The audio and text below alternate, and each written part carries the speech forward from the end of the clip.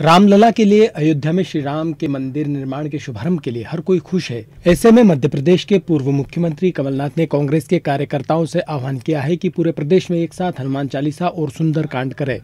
पूर्व मुख्यमंत्री कमलनाथ के आदेश के बाद उज्जैन के तराना विधायक महेश परमार ने अपने कार्यालय के बाहर सुंदरकांड और हनुमान चालीसा का आयोजन किया। सुंदरकांड में तराना क्षेत्र के कांग्रेस कार्यकर्ता और श्रद्धालु मौजूद रहे।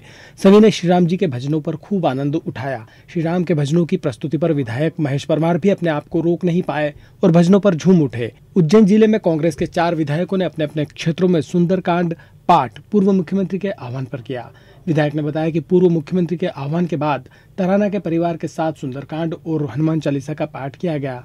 भगवान राम की असीम कृपा बनी रहे और देश में खुशहाली बनी रहे। राजीव गांधी ने राम जी के पट खुलवाए थे।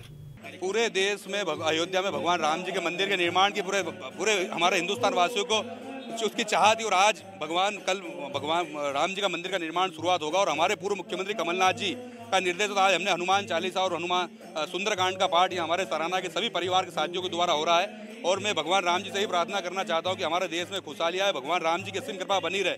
और जैसा हमारे आदरणीय नेता कमलनाथ जी ने कहा तो हम सब लोग मिलकर हनुमान चालीस सुंदरकांड का पाठ कर रहे हैं। प्रभु की कृपा सब पर असीम बनी रहे और सुप्रीम कोर्ट के निर्देश पर जो है भगवान राम जी का मंदिर का निर्माण हो रहा है देश की जनता इसको स्वागत करती है। और हमारे नेता राजीव जी ने इसके सबसे पहले भगवान के दरवाजे खुलवाए तो भगवान जी की कृपा इसी सबके ऊपर बनी रहे और मैं सभी देशवासियों को बहुत बहुत शुभकामना बधाई देता हूँ। और भगवान राम जी की सबका और असीम कृपा बनी रहे। जय जय श्री राम।